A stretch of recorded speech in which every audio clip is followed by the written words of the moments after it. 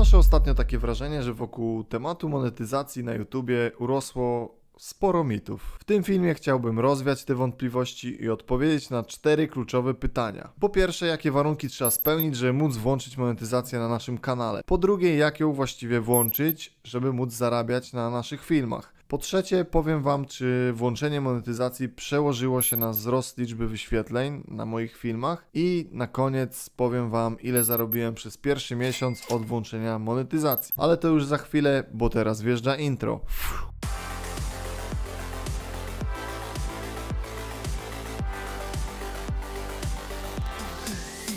Zgodnie z zapowiedzią zacznijmy od kwestii numer jeden, czyli jakie warunki należy spełnić, żeby móc taką monetyzację na naszym kanale włączyć. Z perspektywy nowych twórców YouTube niestety wprowadził takie warunki, które należy spełnić zanim będziemy mogli do programu partnerskiego YouTube'a wstąpić. Czyli to nie jest tak, że wystarczy, że założy się kanał, wrzuci swój pierwszy film i nagle dzwoni YouTube, gdzie rozładować sztabki ze złotem.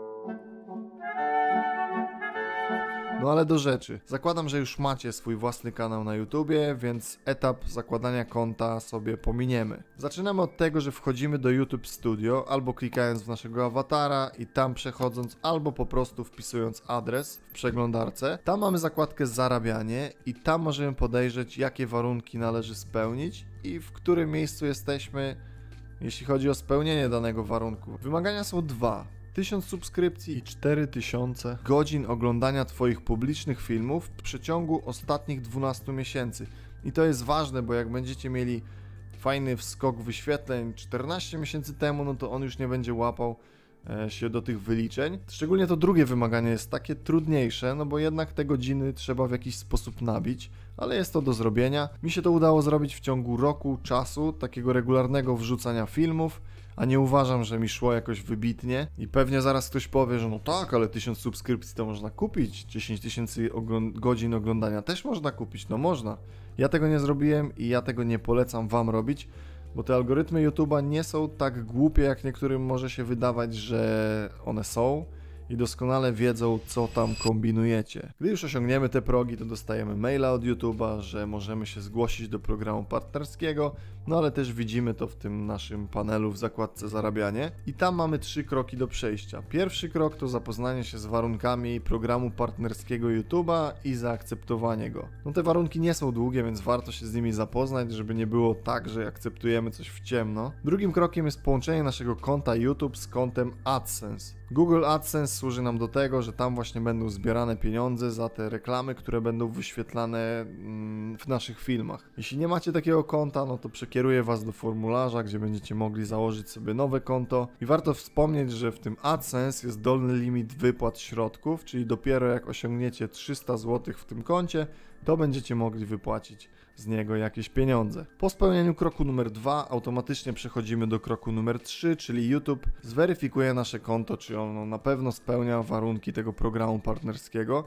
I taka weryfikacja trwa kilka dni, u mnie akurat trwała 3 dni i po nim dostałem, po tym etapie dostałem maila, że zostałem przyjęty do programu i mogłem włączyć e, reklamy w moich filmach. I teraz pokażę Ci jak to zrobić. Przejdźmy do komputera. Przechodzicie do YouTube Studio i tam wybieracie sobie dowolny wasz film i wchodzicie w szczegóły.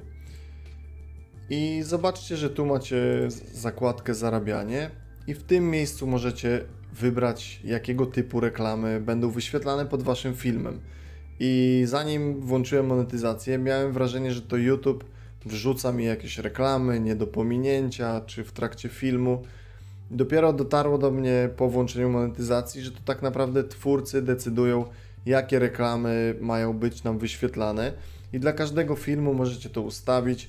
Możecie ustawić, że będą reklamy w trakcie filmu, możecie ustawić, że będą reklamy nie do pominięcia możecie ustawić, że będą reklamy, które będą się wyświetlały na waszym filmie i wiadomo, im włączycie ich więcej, im będą bardziej inwazyjne, no tym więcej będą wam przynosić pieniędzy. Ja sobie powiedziałem, że nie będę włączał tych reklam, które wybijają jakoś z rytmu widza, na przykład mamy jakiś fajny montaż i nagle cyk, reklama wjeżdża. Puh, wybija nas z rytmu i jakoś ten film cały, cała magia gdzieś ucieka. Na razie ja takich reklam nie włączam, jak kiedyś będzie, to zobaczymy. No, mam taką świadomość, że jest to taka trochę wymiana między twórcą a oglądającym. Twórca się napracuje, coś stworzy, coś da, da jakąś wartość, no i powiedzmy, że widz płaci za to oglądając reklamę. E, I jest to taka gdzieś relacja. Więc no, no nie mam do końca na ten temat zdania. Na razie nie mam ciśnienia, więc włączyłem tylko takie z możliwością przewinięcia na początku, plus te po prawej stronie, tam gdzie mamy sekcję poleceń. I no, gdzieś tam to niech będzie mój początek. No i wróćmy teraz do widoków wszystkich filmów. I tu widzicie, że mamy zarabianie i przy poszczególnych filmach mamy, możemy zobaczyć, czy jest włączone danego filmu, czy jest wyłączone. I teraz Wam zademonstruję, że są też inne takie ikonki, jak na przykład ograniczony, kiedy film nie spełnia według YouTube'a jakichś jego standardów i na tych filmach będą reklamy ograniczone albo w ogóle ich nie będzie. I na przykład takim tematem jest koronawirus. Jak nagrałem kiedyś vloga, to ten film automatycznie trafił mi pod e, właśnie ograniczenie. Nie wiem czemu na przykład wpadł mi w ograniczenie mikrofon krawatowy, jak zrobić. Widocznie YouTube sobie jakoś to klasyfikuje i można się do tego odwołać, ale ja akurat nie mam siły i nie widzę sensu, żeby to robić. E, tak samo jeśli używacie e, muzyki, która jest na przykład, do której nie macie praw autorskich, to YouTube pokaże, że po prostu nie będziecie zarabiać na tym filmie, bo macie na przykład roszczenie dotyczące praw autorskich. Pamiętajcie, że jeśli macie dużo filmów i chcecie to zrobić jednocześnie, no to zawsze możecie zaznaczyć kilka, czy to na przykład wszystkie i edytować masowo i wtedy włączyć zarabianie dla wielu filmów jednocześnie i nie, musić, nie musicie się wtedy przeklikiwać przez te wszystkie wasze filmy. I dla przyszłych filmów, które już będziecie publikować, to przy tak jakby tym całym kreatorze, wrzucaniu filmów będziecie mogli wybrać, czy chcecie włączyć zarabianie dla nowego filmu i w jakim zakresie, to znaczy jakie te reklamy chcecie włączyć. E, to by było tyle, jeśli chodzi o to, jak włączyć w waszych filmach. Przejdźmy do kolejnej kwestii, czyli czy włączenie reklam przełożyło się na zwiększenie liczby wyświetleń w moich filmach. YouTube zaprzecza, że algorytmy w jakikolwiek sposób e, biorą pod uwagę, czy zarabianie jest włączone, czy nie, ale powiem Wam, że widziałem wiele filmów, które mówiły o tym, że taka relacja występuje. To znaczy, że twórcy po włączeniu monetyzacji widzieli wzrastającą liczbę wyświetleń w stosunku do tego, co było przed monetyzacją. Zobaczmy, jak to wygląda u mnie. Przejdźmy sobie do statystyk za ostatnie 90 dni. No i w monetyzację u siebie włączyłem 18 stycznia i jak widzicie nie ma żadnego po prostu odbicia, żadnej linii trendu do góry. Wręcz bym powiedział, że lekko ona opada. E, więc u mnie nie przełożyło się to w żaden sposób na liczbę wyświetleń. No i wątpię, że miało na to wpływ to, że nie włączyłem tych wszystkich typów reklam, ale kto wie, może po prostu YouTube ma rację i nie ma żadnej tam zależności i algorytmy nie biorą pod uwagę monetyzacji, a to co zaobserwowali niektórzy twórcy było jakąś po prostu, nie wiem, wtrafieniem się w algorytmy w danym momencie. Trudno powiedzieć, może jestem przykładem, antyprzykładem.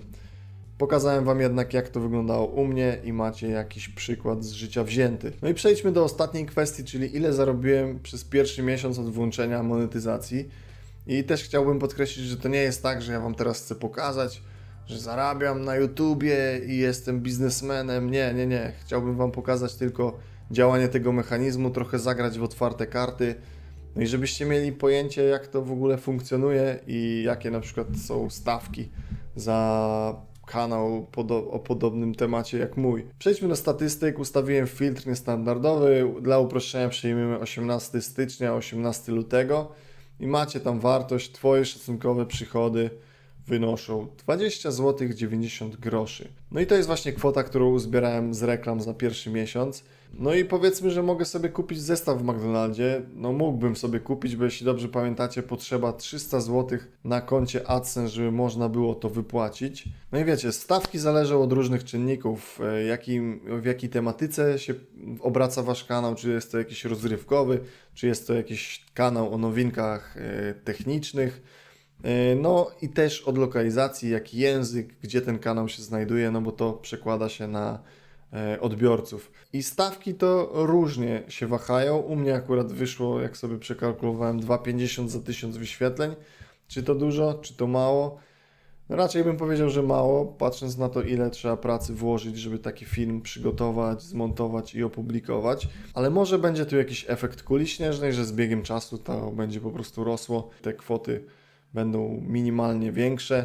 Może do tego zestawu z McDonalda to sobie dokupię kole, bo teraz to rarytas w cenie. A tak na serio to może się uzbiera te 300 zł za jakieś kilka miesięcy i nie wiem, kupię sobie lampę, e, zainwestuję w ten kanał. Taki wiecie, fajny dodatek. Ja ze swojej strony temat wyczerpałem, więc jeśli macie jeszcze jakieś pytania, to śmiało zadawajcie je w komentarzu bądź e, na Instagramie możecie do mnie napisać. Ja sobie robię pamiątkowe zdjęcie. Szkoda, że nie z workiem pieniędzy, no ale co zrobić? W ogóle nie wiem, z czym mam zrobić sobie to zdjęcie teraz, jak to była taka teoria sucha. Może ze statystykami.